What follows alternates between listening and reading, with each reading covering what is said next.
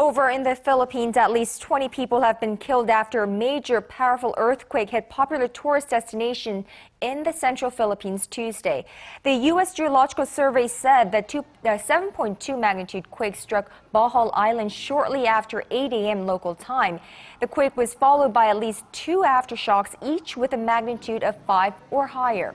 Local officials say that at least four people were killed on Bohol after buildings and roofs collapsed there. Now, 15 have been reported dead on nearby Cebu, west of Bohol, while one person died on the island of Siquijor.